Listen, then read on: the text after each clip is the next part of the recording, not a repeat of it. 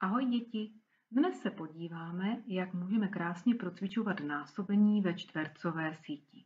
Vy vidíte čtvercovou síť před sebou. Proč se tomu říká čtvercová síť? Protože je to sám čtvereček jeden vedle druhého. A my teď v těch čtverečcích procvičíme násobení. Já jsem si vybrala oranžovou barvu do svého kyblíčku a vyznačím vám dvě řady. V každé té řadě vyznačím čtyři čtverce. První, druhý, třetí, čtvrtý.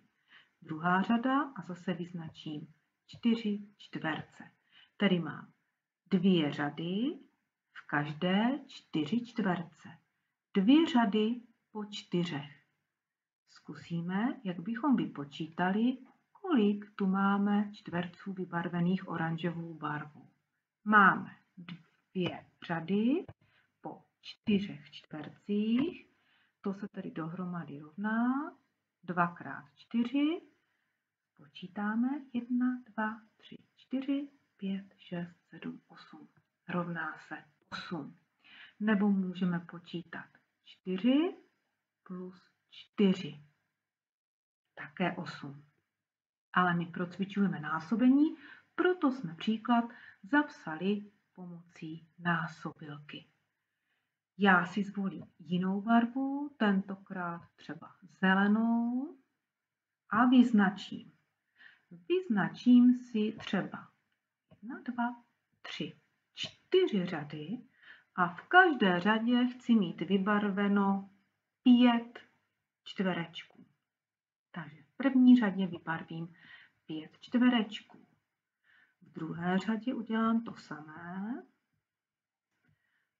Ve třetí a ve čtvrté.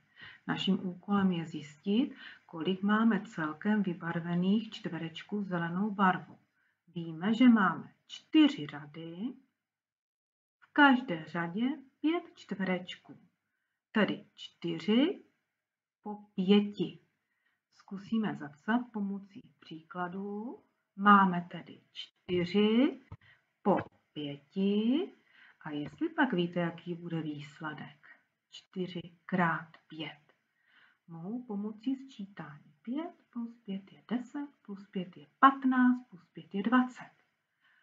A nebo 4 krát 5 a to je tedy dohromady 20. Zkusíme další barvu, tentokrát si vezmu třeba modrou a vyznačím si jedna, dvě, tři řady a v každé řadě chci mít čtyři čtverce. Takže v první řadě chci mít čtyři, v druhé taky a ve třetí také. Kolik mám vybarvených modrých čtverečků? Vím, že mám tři řady po čtyřech čtvercích. Můžeme zapsat pomocí příkladu. 3 po 4 rovná se, a vy šikovní už určitě víte, že je to 12. Zkontrolujeme pomocí sčítání. 4 plus 4 je 8, plus 4 je to opravdu 12. Další barvou bude fialová a zvolím si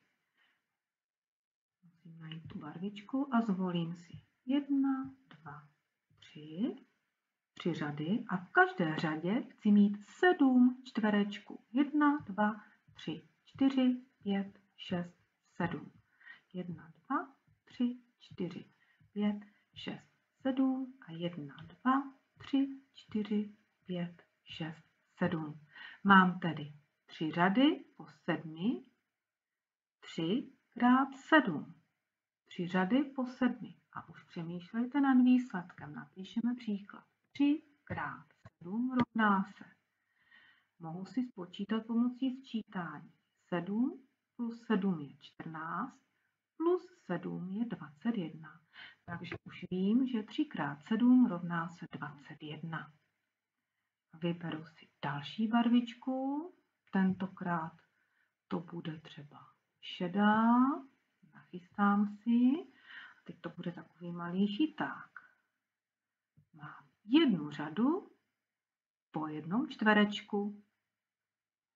Jak bude vypadat ten příklad? Mám jednu řadu po jednom čtverečku.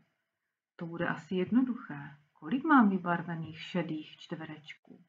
Mám jednu po jedné, tedy jedna krát jedna, to se rovná jedna.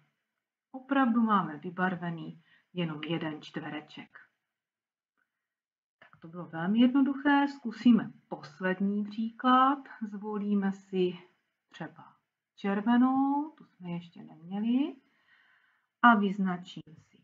Budu mít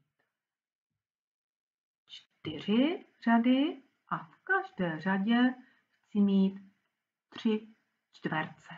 První řada, první čtverec, druhý, třetí, první, druhý, třetí, první, druhý, třetí, první, druhý, třetí. Mám tedy čtyři řady, v každé mám tři čtverce, tedy čtyři po třech.